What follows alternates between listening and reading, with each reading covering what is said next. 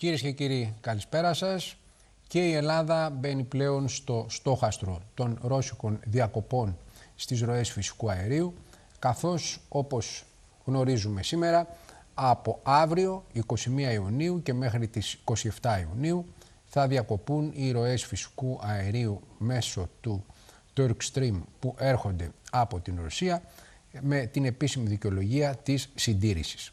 Αυτό βέβαια δεν πρόκειται να μας επηρεάσει σε καμία περίπτωση καθώς τα αποθέματα που υπάρχουν είναι αρκετά και βεβαίως για ένα τόσο σύντομο χρονικό διάστημα δεν υπάρχει κανένας λόγος ανησυχίας ε, όσον αφορά την ομαλή εξέλιξη ε, της παραγωγής ε, ηλεκτρικού ρεύματος στη χώρα.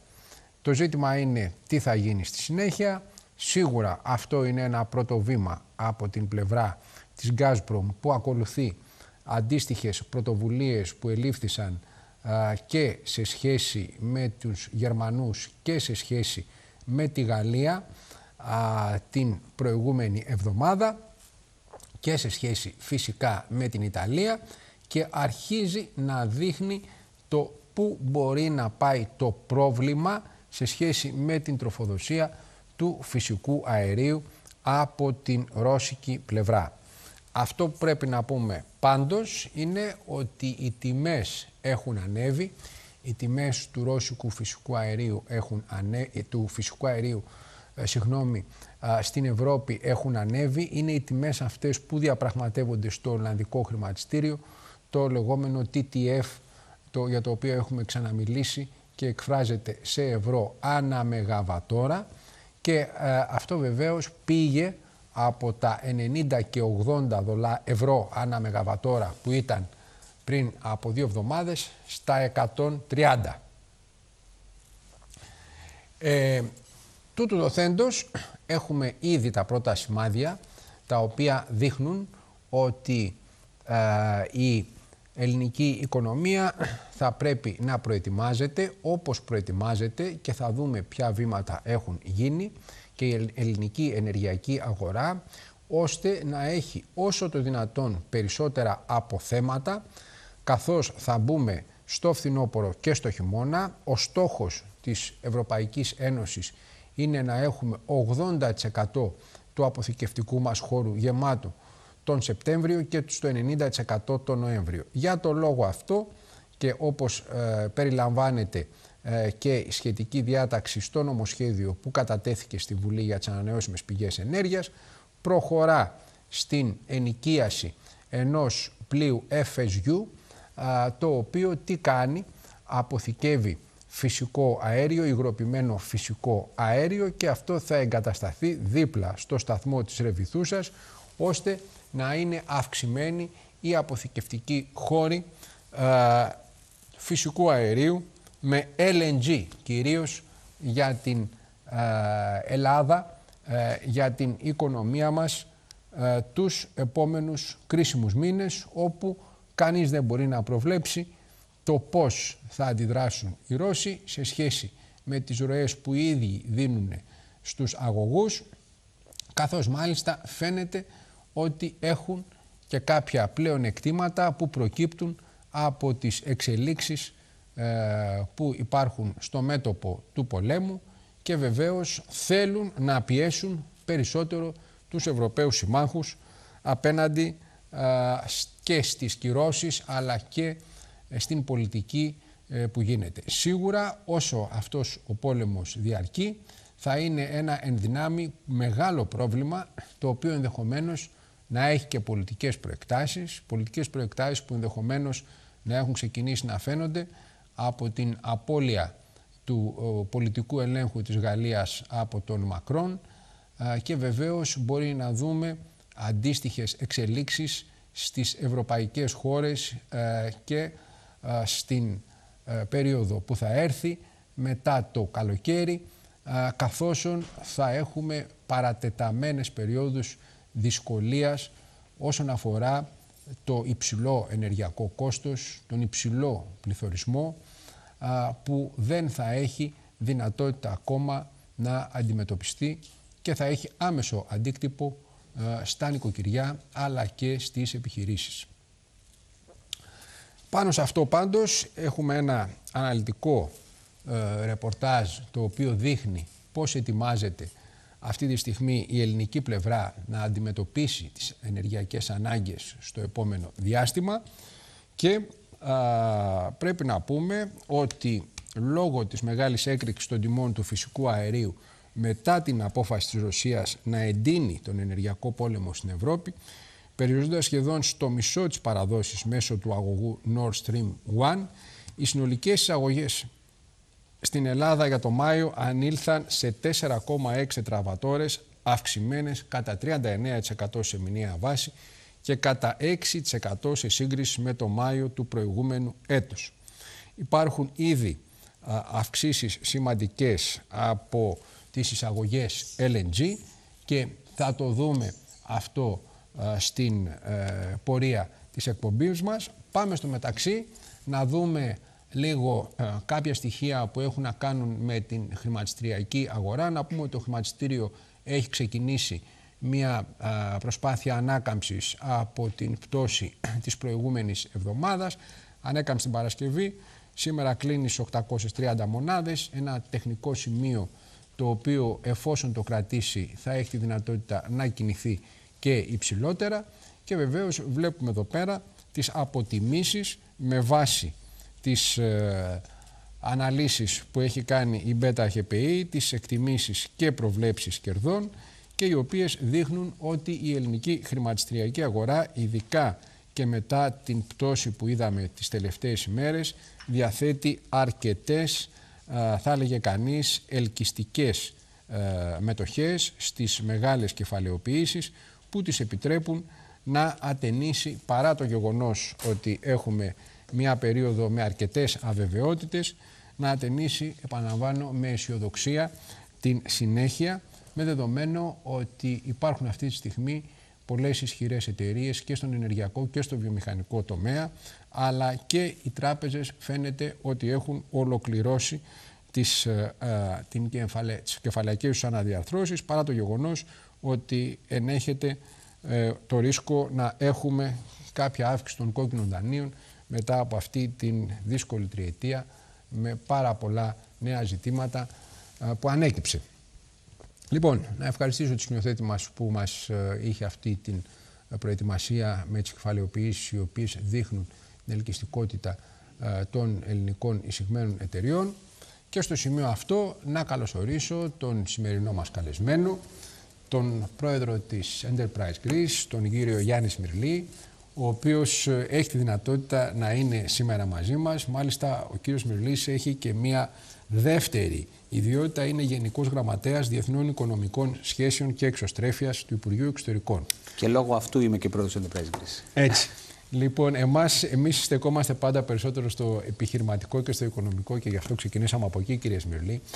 Ε, καταρχάς, ε, εδώ πέρα ε, θέλω να ξεκινήσω από το εξής ότι έχετε ένα ρόλο ο οποίος ε, είναι εξαιρετικά σημαντικός και κρίσιμος θα έλεγα ταυτόχρονα διότι ε, το αντικείμενό σας είναι αυτό το οποίο χρόνια φαινόταν ότι έπρεπε να καλλιεργηθεί, έπρεπε να ανισχυθεί, έπρεπε να αναπτυχθεί σε επίπεδο πολιτικής, δηλαδή μια ανάπτυξη της οικονομικής διπλωματίας, ώστε να μπορούμε να ενισχύσουμε τις επενδύσεις, ώστε να μπορούμε να ενισχύσουμε τις οικονομικές σχέσεις, διότι αυτό το οποίο είναι η καλύτερη απάντηση σε κάθε κρίση, είναι μια πραγματική ισχυροποίηση των κεφαλαίων που έρχονται στη χώρα και τα οποία δημιουργούν επενδύσεις, δίνουν θέσεις εργασίας και βοηθάνε σε μια ανάπτυξη που είναι το ζητούμενο για την ελληνική οικονομία μετά τη σειρά των κρίσεων που έχει αντιμετωπίσει και δυστυχώς είχαμε πέραν των τριών μνημονίων είχαμε το COVID και έχουμε τώρα και έναν πόλεμο ο οποίος φέρνει πληθωρισμό, άλλες αβεβαιότητες και επίσης βλέπουμε από τις Ηνωμένες Πολιτείες που επηρεάζουν όλες τις, θα έλεγε κανείς, τις οικονομίες αλλά και τις μεγάλες ευρωπαϊκές ότι ο πόλεμος αυτός έχει αρχίσει να δημιουργεί πια μεγάλες ανησυχίες για ύφεση α, που το διεθνές αυτό περιβάλλον σίγουρα επηρεάζει και εμάς παρά το γεγονός ότι έχουμε ξεκινήσει τη χρονιά με πολύ υψηλό ρυθμό ανάπτυξης και περιμένουμε να πάει μια χρονιά πολύ καλά σε σχέση με αυτά τα οποία τουλάχιστον είδαμε τα προηγούμενα χρόνια. Ήθελα λοιπόν κύριε Σμυρλή καταρχάς να σας ρωτήσω κατά πόσο αυτή τη στιγμή αισθάνεστε μετά από τον κύκλο που έχετε κλείσει στη θέση που είστε και έχετε ε, κάνει αρκετές επαφές, έχετε δει αρκετές μεγάλες επιχειρήσεις να έρχονται στην Ελλάδα, έχετε ταξιδέψει, παρά το γεγονός, επαναλαμβάνω, ότι η περίοδος του COVID σίγουρα δεν ήταν η πιο εύκολη, η πιο ομαλή περίοδος. Τι έχετε σαν αποκοίημα αυτής της εικόνας ε, όσον αφορά την προοπτική να δούμε στην Ελλάδα επενδύσεις και να δούμε ένα boom το οποίο ε, είναι αυτό το, το οποίο λέμε ότι χρειαζόμαστε την τελευταία δεν θα έλεγα μόνο 15 ετία που η οικονομία μας τυπήθηκε από την κρίση και από, τις, ε, και από την, την κρίση χρέους, αλλά είναι μια, μια καραμέλα την οποία την πιπιλούσαμε πάρα πολλά χρόνια και αντί να βλέπουμε τις λεγόμενες άμεσες επενδύσεις, βλέπαμε χρηματιστηριακές επενδύσεις. Έτσι λοιπόν φτάσαμε κάπου στην ώρα της αλήθειας. Πείτε μας πώς διαμορφώνεται αυτή η πραγματικότητα και αν πραγματικά μπορούμε να αισιοδοξούμε ή θα πρέπει να λαμβάνουμε υπόψη μας και κάποια στοιχεία τα οποία θα πρέπει να μας κάνουν περισσότερο προσγειωμένους. Καταρχάς, να σας ευχαριστήσω για την πρόσκληση, κύριε Πρεμπορέλη, και να σας πω ότι η δομή που έχουμε φτιάξει στο Υπουργείο Εξωτερικών περιλαμβάνει όλους τους εμπορικούς ακολούθους που υπήρχαν στο Υπουργείο Εξωτερικών και φέραμε την Enterprise Greece, που είναι η εταιρεία προσέλκυσης επενδύσεων και πρόθεσης εξαγωγών της χώρας, αλλά και δημιουργίας του brand που λέγεται Ελλάδα, υποστήριξης και καμπάνιας για την Ελλάδα. Αλλά φέραμε και άλλο ένα οργανισμό, τον ΟΑΕΠ, τον Οργανισμό Ασφάλισης Εξαγωγικών Πιστώσεων. Ο οποίος έχει να κάνει με τους εξαγωγείς και την ασφάλεια, κατά πόσο πρέπει να εξάγουν κάπου έχοντας την εγγύηση του κράτους. Άρα φτιάξαμε μια δομή που είναι πιο ολοκληρωμένη. Δεν ανακαλύψαμε τον τροχό κάναμε αυτό που κάνουν όλες οι προηγούμενε χώρες. Δώσαμε βάρος μέσω της εξωτερικής πολιτικής στην εξωστρέφεια της χώρας. Αυτό είναι έτσι, με μία πρόταση αυτό που κάναμε. Οφείλω να σας πω το ότι ακόμα και η διαχείριση του κορονοϊού, γιατί πράγματι ήταν ε, σε δύσκολους καιρούς που φτιάξαμε αυτή η δομή, ακόμα και η διαχείριση του κορονοϊού μας βοήθησε στο να σταθεί η Ελλάδα ως brand, ως κάτι θετικό. Διότι κακά τα ψέγματα, μετά από 10 χρόνια μνημόνια, το brand Ελλάδα δεν ήταν πολύ ε, θελκτικό για να έρθουν επενδύσεις στη χώρα. Καταφέραμε όμως αυτά τα τρία χρόνια να χτίσουμε το όνομα της Ελλάδας, να κάνουμε πολύ πιο οργανωμένη την προσέλκυση των επενδύσεων, διότι υπάρχει πρόσωπο. Το πρόσωπο είναι η Enterprise Greece, μαζί με το δίκτυο του Υπουργείου Εξωτερικών. Συνεργαζόμαστε με όλα τα παραγωγικά υπουργεία και μπορώ να σας πω ότι και τα νούμερα των στρατηγικών επενδύσεων που έχουν έρθει, που είναι, δεν είναι το σύνολο, αλλά είναι αυτέ ε, αυτές οι επενδύσεις που δημιουργούν το κλίμα που λέμε. Όπως είναι η Microsoft, η Pfizer και ούτω καθεξής. Ναι, ναι. Να μην τις λέω όλες. Ναι. Αυτό λοιπόν το κλίμα είναι πάρα πολύ καλό. Ναι. Και ακόμη παρά τον κορονοϊό, παρά τον πόλεμο, μπορώ να σας πω ότι δεν υπάρχει, ε, δεν έχουν σταματήσει οι, ναι. οι επενδυτές να έρχονται. Ναι. Πριν λίγες μέρες ε, είχαμε Σαουδάραβες, σε λίγες μέρες έχουμε Μυρατινούς, εν τω μεταξύ ήρθαν Ισπανοί και έχουμε συνεχώς αιτήματα για σύσφυξη της συνεργασίας με, με όμορες χώρες, ε, οι οποίες τι βλέπουν στην Ελλάδα; Ναι. Βλέπουν στην Ελλάδα μια χώρα η οποία παρά τις κρίσεις είναι σταθερή, είναι οργανωμένη, αλλά το πιο σημαντικό απ' όλα θέλει να παίξει το ρόλο που της αναλογεί γεωπολιτικά και γεωστρατηγικά ναι. στο ανατολικό κομμάτι, νότιο-ανατολικό κομμάτι της Ευρώπης. Θέλει να είναι hub, θέλει να έχει επενδυτές, ναι. προσαρμόζει τις ε, συνθήκες για να επενδύσει ένας ξένος μεγάλος επενδυτής στην Ελλάδα. Γιατί ξέρετε, μπορεί να έρθει στην Ελλάδα, μπορεί να πάει και λίγο πιο βόρεια, μπορεί να πάει και λίγο πιο νότια. Ναι. Το θέμα είναι τι του δίνεις εσύ παραπάνω για να έρθει στη δική σου χώρα. Οπότε, για να, να το πούμε λίγα λόγια, η Ελλάδα τι έχει αυτή τη στιγμή. Είναι μια χώρα μέλος της Ευρωπαϊκής Ένωσης και του ΝΑΤΟ. Το μέσο Ευρωπαϊκή Ένωσης σημαίνει ότι η ευρωπαϊκή αγορά, όταν κάποιος φτιάχνει ένα εργοστάσιο στην Ελλάδα, η ευρωπαϊκή αγορά είναι ανοιχτή για αυτόν. Δεν υπάρχουν δασμοί, δεν υπάρχουν περιορισμοί, μπορεί να πουλήσει παντού. Ταυτόχρονα όμως τι συνδυάζει, συνδυάζει την αγορά των Βαλκανίων, η οποία είναι μια ξεχωριστή αγορά, συνδυάζει τη Βόρεια Αφρική, συνδυάζει τη σύνδεση με τη Μέση Ανατολή και την Ασία. Άρα είναι μεταξύ υπήρων μια σταθερή χώρα η οποία μπορεί να εγγυηθεί ότι αυτό που θα παράξει θα έχει την ποιότητα της Ευρώπης, αλλά θα μπορεί να καλύψει και τις γύρω αγορές. Κερδίζουμε λόγω του σημείου. Γιατί ξέρετε, είμαστε ένα δύσκολο σημείο γεωστρατηγικά. Είμαστε δύσκολο, αλλά, από την άλλη πλευρά και πάρα πολύ. Έχει πλεονεκτήματα αυτό. Ναι, ήθελα να ρωτήσω ε, όσον αφορά αυτή την, ε, το πολύ ενδιαφέρον συνέδριο το επενδυτικό που διοργανώθηκε ε, με επενδυτές από τα Εμμυράτα, από τη Σαουδική Αραβία, από τον αραβικό κόσμο, για τον οποίο γράφτηκα πάρα πολλά πράγματα όσον αφορά συμφωνίες οι οποίες κλείστηκαν μάλιστα στον ενεργειακό τομέα αλλά και στον ενεργειακό τομέα του μέλλοντος όσον αφορά τις ανανεώσιμες πηγές, όσον αφορά την ανάπτυξη του υδρογόνου και μάλιστα έχουν γραφτεί ε, και έχουν δημοσιοποιηθεί ε, πληροφορίες για συμφωνίες με πολύ μεγάλες εταιρείες από τις μεγαλύτερες εισηγμένες που υπάρχουν στον χώρο της ενέργειας. Μπορούμε να αναφέρουμε και μερικά ονόματα, Motorola, Γεκτέρνα, Μιτιλνέους, είναι αρκετές εταιρείες και ε, πληροφορούμεθα ότι θα υπάρχουν και συνέχειες, δηλαδή υπάρχουν επαφές οι οποίες συνεχίζονται για να προχωρήσουν διάφορα projects. Εκεί, κύριε Σμιλή, είχαμε αυτό το οποίο ε, ενδεχομένως ε, αποτελεί βήματα όπου θα δούμε να υλοποιούνται επενδύσεις και ε, οι οποίες θα οδηγήσουν σε νέα project στην Ελλάδα ή θα δούμε αμφίδρομα project και τα λοιπά, διασυνδέσεις, διότι ανακοινώθηκε και ένα μεγάλο project διασύνδεσης ηλεκτρικής, στο, μάλλον συγγνώμη, στον τομέα των τηλεπικοινωνιών. Έχουμε πραγματικά, δηλαδή μπορούμε να κάνουμε μια αναφορά, να δούμε τι κερδίζουμε από όλη αυτή την κινητικότητα που υπήρχε. Να σας πω, καταρχήν με τους Αδάραβε έγινε πριν από 15 μέρες και ήταν σε συνέχεια δικής μας επίσκεψης στο Ριάντ πριν από δύο μήνες. Ναι. Άρα σημαίνει ότι κάνουμε αυτό που πρέπει να κάνουμε ως κράτος για να ανοίγει η αγορά ώστε να υπάρξουν συνέργειες και να υπάρξουν επενδύσεις εκατέρωθεν. Ναι. Ε, δεν γίνεται δηλαδή με μία πρόσκληση και έρχονται 20 εταιρείες και προχωράμε σε, σε συμφωνίες, αλλά γίνεται μία ολόκληρη δουλειά από πίσω που κρατάει μήνες, ούτως ώστε να διοργανώσουμε επιχειρηματικά ταξίδια, τα οποία όμως να είναι προσανατολισμένα. Ναι. Εμείς βάζουμε κάποιους όρους στα ταξίδια. Ναι. Ο πρώτος όρος είναι ότι οι εταιρείες που συμμετέχουν θα αναλάβουν ένα κόστος για τη μεταφορά τους, τη διαμονή τους κτλ. Άρα δεν είναι τουριστικό ταξίδι όποιος θέλει να έρθει βόλτα, Μάλιστα. αλλά έχει και ένα κόστος. Άρα αυτός που θέλει να έρθει θα πρέπει να, να, να συμμετάσχει. Μάλιστα. Και το δεύτερο και πιο σημαντικό από το κόστος, γιατί μια εταιρεία το κόστος αυτό δεν είναι κάτι φοβερό, είναι ότι θα πρέπει είτε να έχει συγκεκριμένο project, είτε στον κλάδο τον οποίο ε, δραστηριοποιείται, να ζητήσουμε συνάντηση από την άλλη πλευρά με αντίστοιχη εταιρεία ή με κρατικό φορέα και να υπάρξει ανταπόκριση. Ναι. Άρα γι' αυτό και κάναμε 250, 250 κάτι διμερείς ε, επιχειρηματικές επαφές με τους Σαουδάραβες εδώ. Γι' αυτό γίνανε άλλες τόσες στο Ριάντ, διότι πάμε με ένα πρόγραμμα και λέμε ότι θα έρθει ο κ. Μπουρέλης για να κάνει μια συνάντηση και θέλει να κάνει μια συνάντηση στον κλάδο των ποτηριών. Μάλιστα. Και η άλλη πλευρά το θέλει. Άρα κάθονται δύο εταιρείες με τις εγγυήσεις των δύο κρατών, οι οποίες έχουν όλα τα ηχέκια για να κάνουν μια συμφωνία. Μάλιστα. Αυτό έχει λειτουργήσει. Και για εταιρείες όπως αναφέρατε πριν, οι οποίες ήδη υπέγραψαν τις πρώτες συμφωνίες για να γίνουν επενδύσεις είτε εδώ είτε εκεί που εμάς μας ενδιαφέρουν και τα δύο, γιατί και η εξωστρέφεια της ελληνικής οικονομίας έχει να κάνει και με τις εταιρείες οι οποίες αναπτύσσονται και πάνε προς τα έξω. Έτσι, ναι, ναι. Και φέρνουν συνάλλαγμα πίσω. Αλλά έχει να κάνει και με τις μεγάλες κρατικές συμφωνίες. Ναι. Εμείς, ξέρετε, κύριε Μπουρέλη, ως κυβέρνηση ποτέ δεν κρύψαμε ότι πιστεύουμε ότι η ανάπτυξη οικονομίας ξεκινάει από την ανάπτυξη επιχειρηματικότητας. Εάν οι επιχειρήσεις μας, οι ελληνικές επιχειρήσεις με εξωστρέφεια αναπτύσσονται, ναι. αυτό δημιουργεί καλές θέσεις εργασίας, αυτό δημιουργεί καλούς μισθούς και έτσι διαχέεται ε, το χρήμα σε όλη την, την ελληνική οικονομία ναι. και έρχεται τελικά η ανάπτυξη. Αυτό είναι το μοντέλο που πιστεύουμε και αυτό είναι το μοντέλο που υπηρετούμε.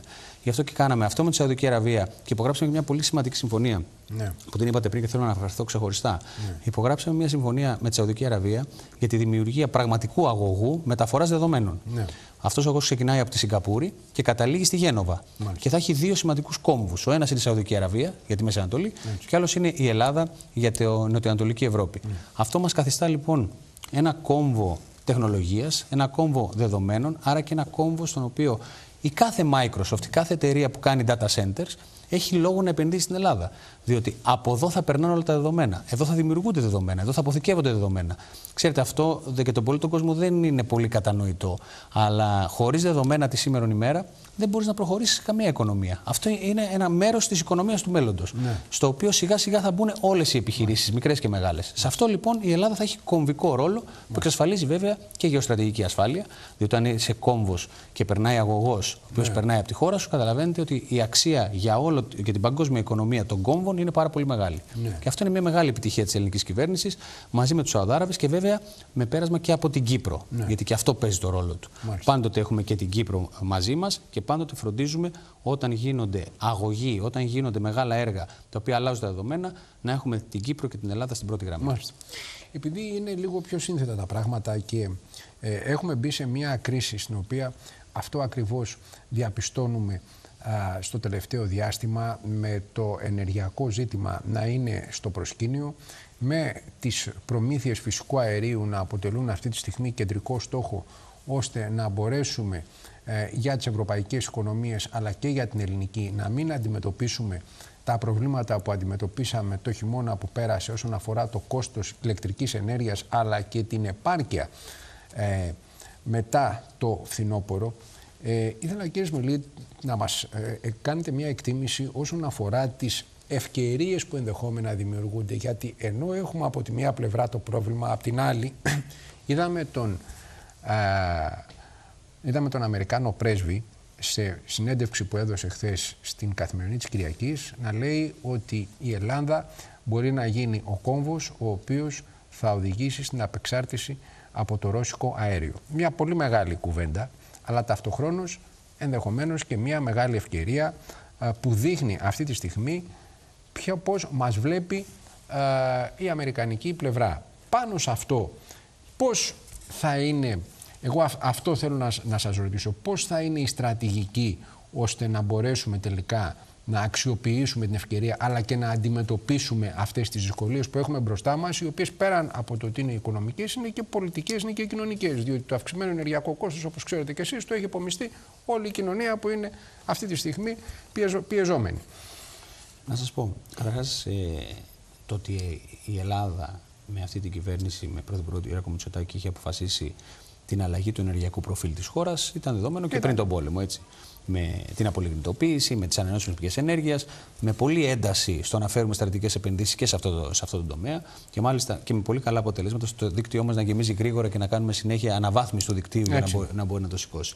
Τώρα, με τον πόλεμο και με την ενεργειακή κρίση αυτή που περνάμε, νομίζω ότι η θέση της χώρας αναβαθμίζεται ακόμα περισσότερο. Διότι τώρα αποτελεί ένα ε, δεδομένο για όλο το δυτικό κόσμο ότι η Ευρώπη, η Ευρωπαϊκή Ένωση θα πρέπει, αν όχι να απεξαρτηθεί εντελώς από τους Ρώσους, σίγουρα όμως να μην εξαρτάται τόσο πολύ. Σίγουρα θα πρέπει να έχουμε και εναλλακτικές πηγές από τις οποίες θα παίρνουμε ενέργεια, ώστε ποτέ κανένας να μην μπορεί να κλείσει την κάνουλα στην Ευρώπη. Σε αυτό το κομμάτι, πάλι το που βρισκόμαστε ως χώρα παίζει πάρα πολύ μεγάλο ρόλο, διότι δεν θέλει κανείς να έχει το ρόλο του κόμβου για την ενέργεια μια χώρα η οποία δεν είναι σταθερή, δεν είναι σοβαρή, δεν είναι μόνιμα με, ε, κοιτώντας προς τη Δύση, για να ναι. το πω έτσι. Η Ελλάδα λοιπόν πληρεί αυτά τα κριτήρια. Είναι ε, το σημείο από το οποίο μπορούν να περάσουν ε, είτε να μεταφερθούν μέσω πλοίων, είτε να περάσουν αγωγή, ε, είτε να, να υπάρξει διασύνδεση ηλεκτρική, και με τη Βόρεια Αφρική και με τη Μέση Ανατολή και ερχόμενη από την Ασία. Όπου υπάρχει δηλαδή παραγωγή ενέργειας την οποία μπορούμε να, να αντλήσουμε.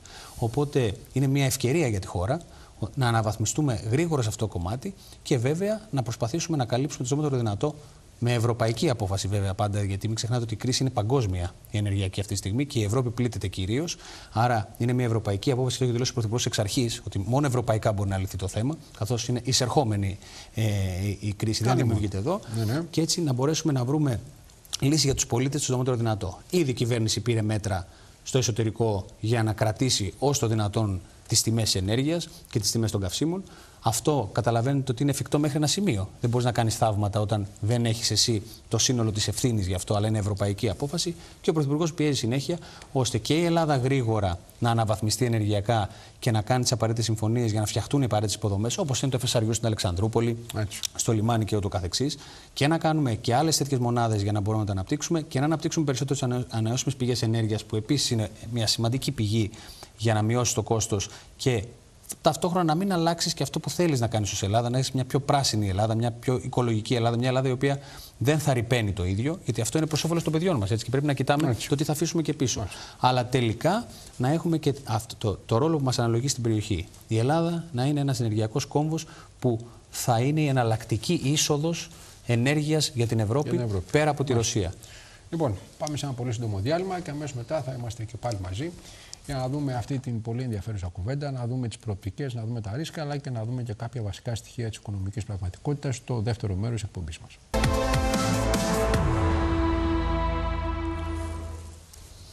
Λοιπόν, και πάλι μαζί να πούμε ότι σήμερα έχουμε μαζί μας τον επικεφαλής του Enterprise Greece και γενικό γραμματέα του Υπουργείου Εξωτερικών, τον κύριο Γιάννη Μυρλή και συζητάμε τα ζητήματα των επενδύσεων, να δούμε αυτή τη στιγμή πόσο μπορούν να προχωρήσουν αυτές οι επενδύσεις οι οποίες είναι το πολύ σημαντικό κομμάτι, το ζητούμενο για την ελληνική οικονομία για να υπάρξει ανάπτυξη, για να υπάρξουν θέσεις εργασίας, για να υπάρξει αύξηση της εξωστρέφειας και κυρίως για να δούμε τις άμεσες επενδύσεις οι οποίες τόσα χρόνια συζητούνται αλλά υλοποιούνται σε μικρότερο βαθμό να αρχίσουν να παίρνουν σάρκα και οστά.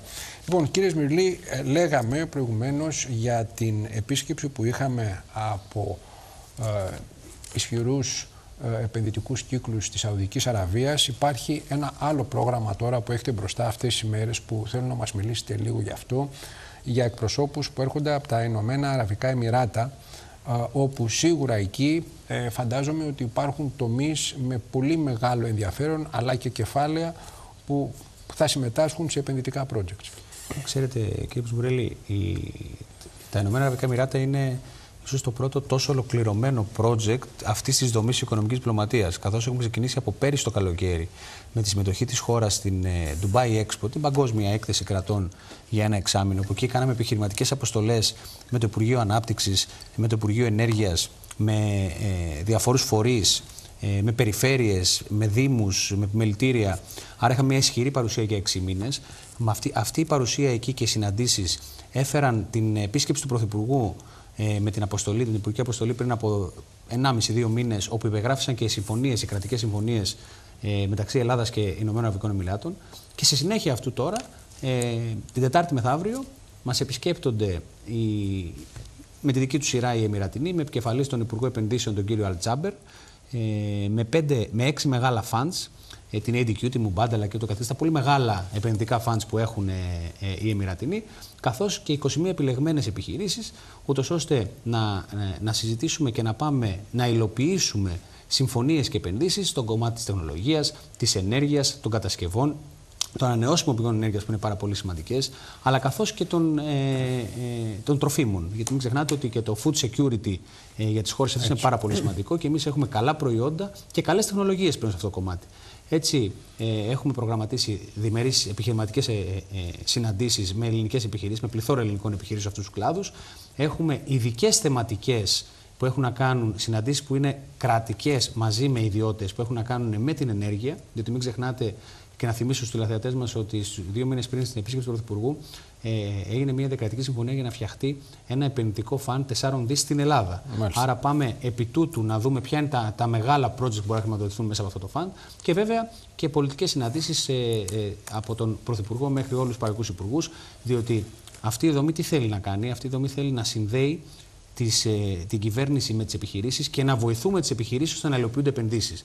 Το είπαμε και στην αρχή έτσι λίγο. Εμάς μας ενδιαφέρει να υλοποιούνται οι επενδύσεις. Άρα τι θέλουμε, θέλουμε πάντοτε να υπάρχει ανταπόκριση στην άλλη πλευρά και όποιος συμμετέχει σε αυτές τις αποστολές να έχει έστω και μία διμερή συνάντηση κλεισμένη από πριν. Γιατί αυτό οδήγησε αποτελέσματα, κύριε Μπουρέλη. Ναι. Όχι θεωρητικές συζητήσεις, αλλά στην πράξη. Πώ συμφωνίες βγάλαμε, τι έχει μείνει σε κρεμότητα; Το Υπουργείο Εξωτερικών μέσω των εμπορικών ακολούθων παρακολουθεί μετά τα ταξίδια τις συμφωνίες πώς πάνε, ώστε να μπορεί το κράτος να είναι αργός επιχειρήσεις. Προφανώς δεν είναι όλα τέλεια, αλλά θεωρώ ότι είναι πολύ σημαντικό βήμα αυτό που έχουμε κάνει, ώστε να αισθάνονται οι επιχειρήσεις ότι μπορούν να βασιστούν στο ελληνικό κράτος για να τους ανοίξει την πόρτα, για να τους βάλει σε μια συνάντηση. Το αν θα κάνουν μετά τη συμφωνία είναι θέμα προφανώς ιδιωτικών συμφερόντων των δύο χωρών. Όμως είναι σημαντικό το ότι το κράτος δεν είναι απέναντι, αλλά είναι δίπλα στην ανάπτυξη της επιχειρηματικότητας. Όσον αφορά τώρα τα ενεργειακά θέματα, τα οποία είναι και στην αιχμή του δόρατος, διότι είναι και η στρατηγική πιο μακροπρόθεσμη, η στην οποία εμείς έχουμε ήδη ξεκινήσει και κάνουμε μια σειρά επενδύσεων από τα λεγόμενα FSRU που είναι οι χώροι του αποθηκευμένου, που αποθηκεύεται το υγροποιημένο φυσικό αέριο, έως και τις ανανεώσιμες.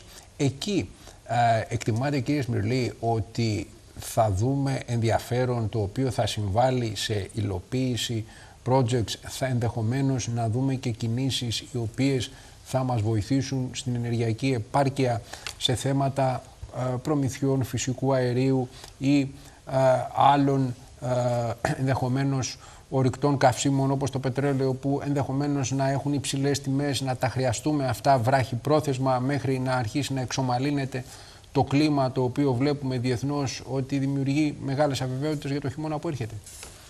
Κοιτάξτε, σίγουρα οι συζητήσεις έχουν να κάνουν με την ενέργεια και το ποιες είναι οι άμεσες λύσεις, οι βραχυπρόθεσμε, όπως είπατε, μπορούμε να έχουμε. Αλλά σίγουρα ο σχεδιασμός είναι μεσοπρόθεσμος. Ο σχεδιασμός είναι για το πώς η χώρα θα έχει φθηνή ενέργεια ε, στο μέλλον και πώς δεν θα βρισκόμαστε σε δύσκολες καταστάσεις όταν υπάρχει μια ενεργειακή κρίση όπως αυτή. Προφανώς οι συμφωνίες είναι Ευρωπαϊκή Ένωση με τρίτες χώρες και σε αυτές συμβάλλει και η Ελλάδα. Αλλά ναι. είναι σημαντικό, όπω καταλαβαίνετε, το ότι έχουμε εδώ πέρα μεγάλους ενεργειακούς παίκτες που επισκέπτονται τη χώρα, ότι επενδύουν και αυτοί και θέλουν να επενδύσουν είτε σε λιμάνια για τα φεσαριού, είτε σε ανανεώσιμες πηγές. Και ε, ένας στόχος του φαν που δημιουργείται με, την, ε, με τα Ηνωμένα Αραβικά Εμμυράτα είναι το πώς σε ενεργειακά μεγάλα project που αλλάζουν τη μοίρα της χώρας ενεργειακά θα έρθουν να επενδύσουν αυτά τα μεγάλα funds που έρχονται από τα Ηνωμένα Αραβικά Εμμυράτα. Άρα παίζουμε το ρόλο που μας αναλογεί και εκεί. Πάντοτε όμως με γνώμονα τι ε, ευρωπαϊκές προτάσεις και πώς προχωράμε όλοι μαζί η Ενωμένη Ευρώπη. Αλλά όπως καταλαβαίνετε, τα FSRUs και πώς θα γίνουν στην Ελλάδα έχει να κάνει κυρίως με τη δική μας απόφαση, την ελληνική απόφαση, γιατί σίγουρα υπάρχει η πολιτική βούληση και σε ευρωπαϊκό επίπεδο η Ελλάδα να γίνει κόμβος, να έχει FSRUs και βέβαια οι ενώσιμε πηγές να έχουν ως να το μεγαλύτερο κομμάτι της ενεργειακής πίτας στο μέλλον. Ναι. Ε, είναι πάρα πολύ ενδιαφέρον να δούμε τι θα προκύψει από όλη αυτή τη διαδικασία, διότι εκείνο το οποίο πρέπει να πούμε είναι ότι από τις αρχικές συζητήσεις μέχρι να φτάσει στην υλοποίηση μιας επένδυσης υπάρχει δρόμος και σίγουρα το γεγονός ότι δημιουργούνται αυτές οι προϋποθέσεις είναι από μόνο του ένα πάρα πολύ θετικό γεγονός και κυρίως μιλάμε, ε, όπως τουλάχιστον μας τα λέτε, για επενδυτές οι οποίοι στην παρούσα φάση όπου υπάρχουν πολλές αδυναμίες, σε ολόκληρη την ευρωπαϊκή αγορά, σε όλες τις μεγάλες ευρωπαϊκές εταιρείες. Αυτοί αυτή τη στιγμή είναι αρκετά ισχυροποιημένοι καθώς οι οικονομίες τους μετά τον κορονοϊό για πάρα πολλούς λόγους και φυσικά λόγω της ανόδου και του πετρελαίου έχουν ενισχυθεί, είναι εύρωστες, είναι εύρωστοι οι όμιλοι αυτοί και μπορούν ενδεχομένως να συνεισφέρουν σημαντικά ε, αξιοποιώντας τις ευκαιρίες που παρουσιάζονται. Ξέρετε, κύριε Μπρέλη, αυτό παίζει μεγάλο ρόλο και γι' αυτό και οι στρατηγικές επενδύσεις είναι στην Enterprise Greece και άρα στο Υπουργείο Εξωτερικών ε, με πολιτική απόφαση αυτής της κυβέρνησης. Διότι οι μεγάλοι αυτοί όμιλοι που λέτε και οι στρατηγικοί επενδυτές δεν κοιτούν τι γίνεται το επόμενο εξάμεινο. Ναι. Κοιτούν τους δείχτες τι γίνεται επόμενη πενταετία, δεκαετία. Όταν μιλάς για μια στρατηγική επένδυση η οποία είναι δύο δις και έχει να κάνει με ενέργεια, αυτή θέλει κάποιο χρόνο για να διοδοτηθεί και κάποιο χρόνο για να κατασκευαστεί. Άρα μιλάμε ότι θα είναι σε, σε χρήση μετά από δύο χρόνια λόγω των στρατηγικών, γιατί εκεί έχουμε fast track διαδικασίες για τις αδειοδοτήσεις για να προχωράνε σε ένα οχτάμινο να έχουν τελειώσει. Να έχουν πάρει την άδεια στα χέρια τους εννοώ. Ναι. Άρα ε, αυτοί οι ενεργειακοί παίχτες και αυτοί οι μεγάλοι επενδυτές τους ενδιαφέρει περισσότερο η προοπτική της χώρας και η σταθερότητα της χώρας. Όσο πιο σταθερή είναι η χώρα, είτε κυβερνητικά είτε οικονομικά, και σίγουρα και τα δύο μαζί είναι σημαντικό, τόσο περισσότεροι έρχονται και, και εμπιστεύονται τη χώρα. Και ξέρετε, οφείλω να πω και δύο νούμερα εδώ. Ότι ε, σε αυτά τα σχεδόν τρία χρόνια έχουμε περάσει στρατηγικές επενδύσεις από τη Διπουργική ε, μέσω της Enterprise Greece, τα οποία ξεπερνάνε τα 8 δισεκατομμύρια ευρώ. Μάλιστα. Το οποίο το νούμερο, επειδή μόνο του δεν λέει πολλά πράγματα, να σας πω ότι την προηγούμενη πενταετία το σύνολο ήταν 1,6 δις ευρώ. Σε πέντε χρόνια. Τώρα μιλάμε για 8. Αυτό δεν έγινε γιατί έχουμε κάποιο μαγικό ραβδάκι. Ναι. Αυτό έγινε γιατί ο στόχος μας είναι να προσελκύσουμε επενδύσεις. Ναι. Και έχουμε μια χώρα που βγάζει ένα θετικό προφίλ με έναν σοβαρό πρωθυπουργό, μια κυβέρνηση η οποία πέφτει πάνω στον επενδυτή. Και να σα πω και ένα γρήγορο παράδειγμα σε αυτό. Ναι, ναι. Εάν ε, η Microsoft δεν είχε την προσοχή που πρέπει ώστε να δημιουργηθεί πλαίσιο για να μπορούν να φτιαχτούν τα centers στην Ελλάδα, δεν θα γινόταν αυτή η επένδυση στην Ελλάδα. Θα πήγαινε σε μια άλλη χώρα ε, της ευρύτερης περιοχής. Εμείς είπαμε όμως όχι, θα φτιάξουμε πλαίσιο για τα data centers. Δεν είναι η Microsoft. Η Microsoft είναι η διαφήμιση για τα data centers. Είναι μια επένδυση, μια μεγάλη. Για να μπορεί, και πλέον τι γίνεται, πλέον μπορεί οποιαδήποτε εταιρεία, γι' αυτό ακολουθούν και άλλες, να έρθει και να επενδύσει στην Ελλάδα, γιατί υπάρχει θεσμικό πλαίσιο και έδειξε η κυβέρνηση ένα φιλοεπενδυτικό πρόσωπο. Είπε στον επενδυτή, θα το φτιάξουμε μαζί ώστε να είναι το πιο σύγχρονο πλαίσιο και να μπορείς να επενδύσεις εδώ με ασφάλεια. Μάλιστα. Λοιπόν, να πούμε και ένα ευχάριστο. Σήμερα είχαμε την αναβάθμιση της ελληνικής οικονομίας από τον Ιαπωνικό οίκο ο οποίος RNI, ο οποίος βέβαια δεν είναι ε, στους τρεις ε, μεγάλους οίκους από τους οποίους περιμένουμε την επενδυτική βαθμίδα, επενδυτική βαθμίδα που ο ίδιος ο Πρωθυπουργός είπε ότι θα την πάρουμε στο πρώτο εξάμεινο του 2023. Ήθελα κύριε Σμυρλή πάνω σε αυτό τώρα, επειδή είστε πάρα πολύ κοντά στα οικονομικά και είστε πάρα πολύ κοντά στη δυναμική φάση των επενδύσεων. Πόσο αυτή τη στιγμή μπορούμε να πούμε ότι είμαστε σε μια καλή πορεία και πόσο μπορούμε να ανησυχούμε ότι ενδεχομένως να έχουμε αναταράξεις που θα μας επηρεάσουν από το διεθνές κλίμα ή το διεθνές κλίμα αυτή τη στιγμή έχει μια αβεβαιότητα που ξεκινάει από μια πολεμική σύγκρουση γιγάντων, από μια άνοδο του πληθωρισμού που απειλεί με ύφεση αυτή τη στιγμή την αμερικανική οικονομία και το διεθνές περιβάλλον. Και βεβαίως έχουμε κυρίως αυτό το οποίο μεταφράζεται σαν ακρίβεια στο μέσο ε, καταναλωτή, τι σημαίνει αυτό; Που του μειώνει το διαθέσιμο εισόδημα. Πόσο λοιπόν εμείς αυτή τη στιγμή θα κινδυνεύσουμε ή ενδεχομένως να υπάρχουν κάποια πλάνα και κάποιες άμυνες που μπορούμε να βγάλουμε ως ότου αυτό αποκλιμακωθεί για να μπορέσουμε συνέχεια να συνεχίσουμε αυτή την αναπτυξιακή προσπάθεια που έχετε ξεκινήσει; Ε, κύριε Μπουρέλη, ούτως ή άλλως η, η άνοδος της ελληνικής οικονομίας και οι αναβαθμίσεις της χώρας από τους οίκους ε, γίνονται τα τελευταία δύο χρόνια μέσα σε πολύ δύσκολες συνθήκες. Συνθήκες κορονοϊού, lockdowns, που ξέρετε, το lockdown ε, ο, ο πολίτης το, το ένιωσε μένοντας σπίτι του, αλλά ε, ο, ο επαγγελματίας, ο επιχειρηματίας, ο, ο, αν βάλεις το καπέλο του εργαζομένου, το νιώσανε όντας μη παραγωγικοί. Άρα, σε, ακόμα και σε περιόδους όπου έκλεινε η οικονομία, παρόλα αυτά το potential, η προοπτική της χώρας δεν σταμάταγε. Και οι μεταρρυθμίσεις βέβαια δεν σταμάταγαν. Αυτή η κυβέρνηση έχει αποδείξει ότι στα δύσκολα μπορεί να κάνει μεταρρυθμίσεις. Συνεχίζουν μεταρρυθμίσει. Προφανώς ε, το παγκόσμιο κλίμα θα μας επηρεάσει. Αλλά δεν θεωρώ ότι θα μας επηρεάσει στο βαθμό ώστε να χάσουμε την παιδική βαθμίδα. Γιατί η παιδική βαθμίδα δεν έχει να κάνει με το πόσο δύσκολος μπορεί να είναι ένας χειμώνας ή ένα τρίμηνο που ακολουθεί, αλλά έχει να κάνει με το τι βάση έχεις βάλει με τις μεταρρυθμίσεις που κάνεις, ούτως ώστε να, να θεωρείσαι ε, επενδυτικός προορισμός, ούτως ώστε να σε εμπιστεύονται οι αγορές, να μπορείς να δανείζεσαι με λογικά επιτόκια, αλλά να μπορείς τελικά να, να, να, να κερδίσεις και την επενδυτική βαθμίδα. Οπότε θεωρώ ότι δεν θα κινδυνεύσουμε για την επενδυτική βαθμίδα. Σίγουρα θα περάσουμε μια πιο δύσκολη περίοδο όλη η Ευρώπη και σε δύσκολη περίοδο υπάρχουν λύσεις, σχεδιάζει η κυβέρνηση λύσεις, ούτως ώστε να μην επηρεαστούμε και να μην φτάσουμε αν γίνεται και στην ύφεση. Γιατί εδώ κινδυνεύουμε με ύφεση όλου του δυτικού κόσμου. Ναι, ναι. Ε, και εκεί είναι που πρέπει να προσέξουμε. Μην ξεχνάμε ότι τρέξαμε πέρυσι το 2021 με 8,3% ε, ρυθμό ανάπτυξης, θετικό ρυθμό ανάπτυξης. Ε, ήδη ξεκινήσαμε τη χρονιά και ακόμα και τώρα οι προοπτικές της χώρας είναι θετικές. Και αυτό είναι διότι δεν σταματάμε να δουλεύουμε και να μεταρρυθμίζουμε και να ξεχρονίζουμε τη χώρα και δεν σταματάμε να, να προσελκύουμε και μεγάλους επενδυτές και προσπαθούμε κάθε κρίση να την κάνουμε ευκαιρία, στο βαθμό βέβαια που αυτό είναι εφικτό πάντα. Μάλιστα. Τώρα, κλείνοντας, ε, θέλω να σας ρωτήσω, ε, οι κλάδοι οι οποίοι αυτή τη στιγμή είναι στο δικό σας επίκεντρο, ποιοι είναι πέραν από ορισμένους βασικούς που έχουμε αναφέρει, την ενέργεια, τον τουρισμό, ε, τις κατασκευές. Ε, φαντάζομαι ότι αυτή τη στιγμή ο τουρισμός για τον οποίο δεν έχουμε μιλήσει αρκετά, αλλά αν θέλετε μπορείτε να μας δώσετε κάποιο στίγμα, είναι ένας κλάδος ο οποίος συγκεντρώνει πάρα πολλά κεφάλαια, πολύ μεγάλο ενδιαφέρον, γίνονται εξαγορές υφιστάμενων επιχειρήσεων οι οποίες έχουν ε, προβλήματα, αλλά νομίζω ότι εκεί φαίνεται και μια δυναμική και ήθελα, αν, αν μπορούμε, να έχουμε και μια τάξη μεγέθους, διότι συζητιέται πού μπορεί αυτή τη στιγμή, τι μπορεί ο ελληνικός τουρισμός, πού μπορεί να φτάσει μάλλον, ένα είναι πού μπορεί να φτάσει και πόσο έτοιμος είναι να χτίσει τις υποδομές για να έχει μια δυναμική ή τελικά κινδυνεύει αυτό από μια μεγάλη ζήτηση υπηρεσιών να μην ε, είμαστε έτοιμοι και να παρουσιάσουμε τελικά μια εικόνα η οποία δεν θα μας επιτρέψει να έχουμε μια σταδιακή πολύ μεγάλη άνοδο η οποία αναφέρουν όσοι παρατηρούν την εξέλιξη ότι είναι πιθανή, είναι δυνατή, είναι εφικτή. Ο τουρισμός είναι παραδοσιακός κλάδος της ελληνικής οικονομίας, τεράστιος κλάδος της ελληνικής οικονομίας. Έχει απασχολεί αναπεριόδους, ε, όχι αναπεριόδους, πάντοτε μεγάλα κομμάτια ε, των, των Ελλήνων εργαζομένων αλλά και επιχειρήσεων. Ε, επηρεάζει και τους υπόλοιπους τομείς, καθώς είναι τόσο μεγάλο κομμάτι του, του, του ελληνικού ΑΕΠ. Όμως αυτή τη στιγμή δημιουργούνται συνθήκες ώστε να έχουμε μεγάλους ε, κολοσσούς ε, ξενοδοχειακούς και τουριστικούς οι οποίοι έρχονται να επενδύσουν στην Ελλάδα και αυτό παίζει το ρόλο του.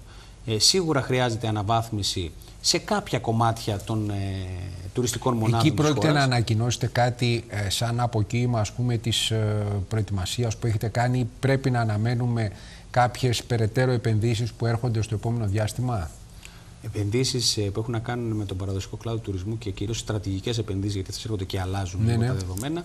Έχουμε και στο pipeline τη Enterprise Greece. Ναι. Ε, έχουμε ανακοινώσει και τη Σαρονίδα ένα μεγάλο επενδυτικό project το οποίο ναι, περνάει ναι, από τη Διπουργική αύριο ε, και έχει περάσει από το Διοικητικό Συμβούλιο της Enterprise Greece. ε, που μιλάμε για 800, 850 εκατομμύρια επένδυση στην Αττική σε τουριστική μονάδα μαζί με γκολφ, μαζί με μαρίνα ε, που αναμορφώνει μια ολόκληρη περιοχή, έτσι, γιατί ναι. αυτό είναι μια στρατηγική επένδυση στην πραγματικότητα. Ναι.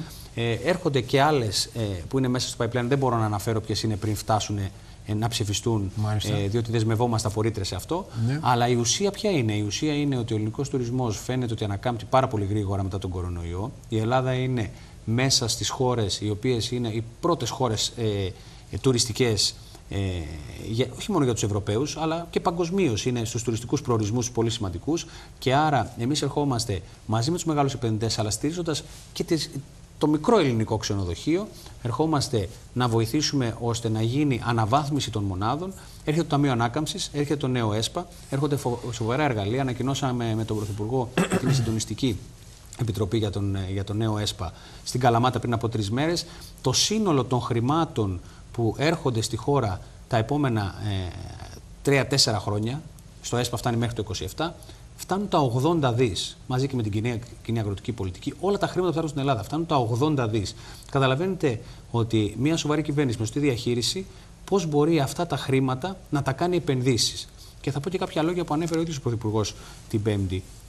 100 δις χρειαζόμαστε για να γίνουν επενδύσεις στη χώρα, άμα το δεις καθαρά οικονομικά, για να φτάσει η χώρα να έχει πραγματικά τεράστια ανάπτυξη και να αναβαθμιστεί ε, και στην καθημερινότητα του κάθε πολίτη. Τα 80 έρχονται.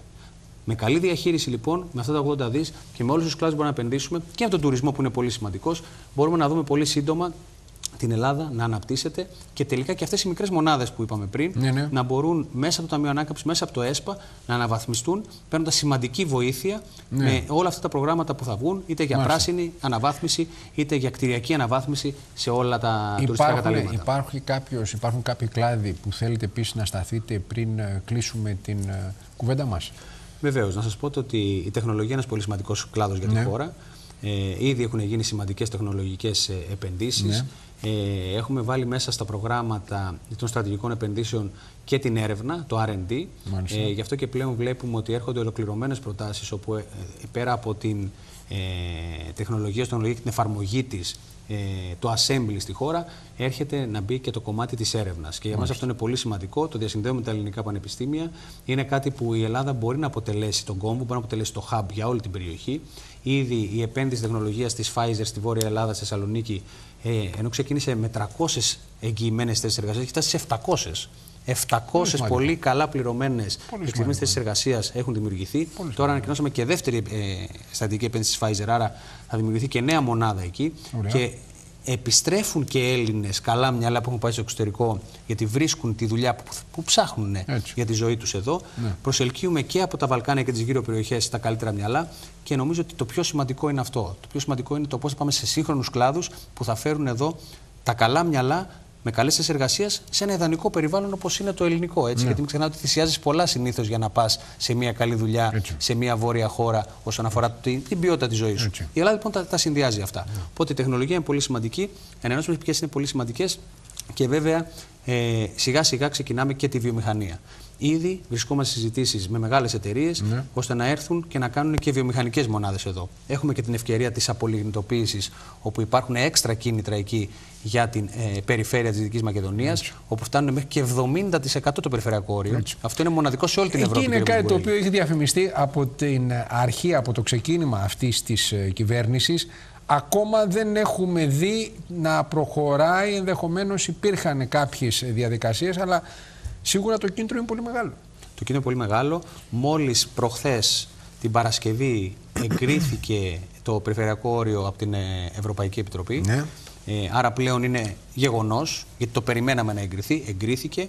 Ε, μαζί με τα προγράμματα ανάπλασης της περιοχής της Κοζάνης, ώστε να μπορούν αυτά να γίνουν οικόπεδα τα οποία θα, φέρουν, θα στεγάσουν νέες επενδύσεις. Ε, το Υπουργείο Ανάπτυξης εκεί κάνει πολύ σοβαρή δουλειά, ούτως ώστε να τελειώσουν γρήγορα και οι χρήσεις γης για να μπορούν να αξιοποιηθούν. Εμείς ε, είμαστε έτοιμοι και δείχνουμε στους επενδυτές την, ε, την περιοχή ώστε να μπορέσουμε να τους έχουμε ε, ενημερώσει σωστά και να ξέρουν ότι μπορούν στην Κοζάνη να εκμεταλλευτούν αυτή την ευκαιρία yeah. Ναι. της απολυμνητοποίησης. Άρα Ε, αν τα βάλετε όλα αυτά τα εργαλεία που πάμε μαζί, μπορώ να σας πω ότι με στο συντονισμό, και αυτό που να κάνουμε σαν Υπουργείο Εξωτερικών και Οικονομική Διπλωματία, να συντονίζουμε για τα παραγωγικά Υπουργεία και να φέρνουμε έτοιμους τους ξένους επενδυτές ώστε να μιλούν με τα αρμόδια Υπουργεία, νομίζω ότι μπορούμε να πετύχουμε την ανάπτυξη που θέλουμε και μπορούμε να περάσουμε με λίγες απώλειες, τις λιγότερες δυνατές απώλειες και την κρίση που περνάμε τώρα την ενεργειακή και την επιστηστική που ακολουθεί. Γιατί μην ξεχνάμε ότι βρισκόμαστε μέσα σε ένα πόλεμο, μας έχει επηρεάσει πολύ αυτός ο πόλεμος. Αυτή η εισβολή στην Ευρώπη ήταν κάτι που δεν το περίμενε κανείς ότι θα μπορούσε να γίνει το 2022. Αυτό που έχουμε να αντιμετωπίσουμε, αλλά νομίζω ότι είμαστε σε καλή μοίρα ως χώρα, διότι πάντοτε την κρίση προσπαθούμε να την κάνουμε ευκαιρία και πάντοτε προσπαθούμε να πετύχουμε το κομμάτι που μας αναλογεί ώστε η χώρα να αναβαθμίζεται παρά τη δύσκολη περίοδο που περνάμε. Μάλιστα. Κύριε Σμυρλή, να σε ευχαριστήσω πάρα πολύ που σήμερα ήσταν μαζί μας και είχαμε δυνατότητα να κάνουμε όλη αυτή την κουβέντα για τον κρίσιμο επενδυτικό τομέα. Δεν μένουν παρά δύο λεπτά στην εκπομπή μας. Ε, πριν κλείσουμε λοιπόν να δώσουμε μια εικόνα ενός χρηματιστήριου το οποίο δείχνει να συνέρχεται από την πρόσφατη πτώση που υπήρξε. Να πούμε ότι το κλείσιμο το σημερινό είναι στους 831,8 μονάδες συν 0,78%. Εδώ έχουμε και έναν πίνακα, ο οποίος, ένα διάγραμμα που έχει πάρα πολύ μεγάλο ενδιαφέρον, διότι μας δίνει ακριβώς την εικόνα της Wall Street, του S&P, ο S&P έκανε μια μεγάλη διορθωτική κίνηση επίσης της στο τελευταίο διάστημα. Ήρθε κάτω από τις 3.700 μονάδες. Αυτή ακριβώς η τεχνική ανάλυση Credit Suisse δείχνει ότι το ισχυρό σημείο στήριξης είναι οι 3.500 μονάδες, 550 μονάδες. Να πούμε ότι έκανε τις 3.650 στα τέλη της προηγούμενης εβδομάδας. Σήμερα δεν είναι ανοιχτή η Wall Street.